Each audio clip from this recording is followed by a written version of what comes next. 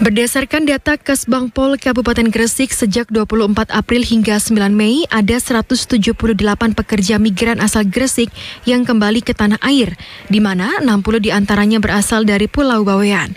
Minggu pagi tadi, 20 pekerja migran asal Bawean yang sudah menjalani isolasi dipulangkan ke Bawean dengan kapal cepat Bahari Express.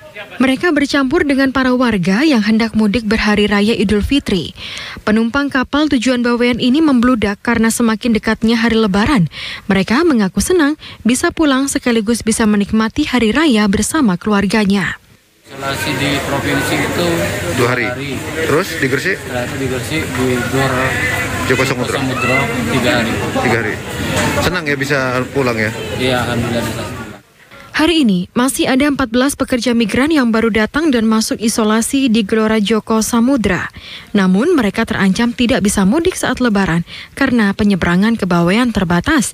Hanya dilayani dua kapal yakni kapal cepat Ekspres Bahari dan kapal ASDP Gilia. Muhammad Amin, CTV.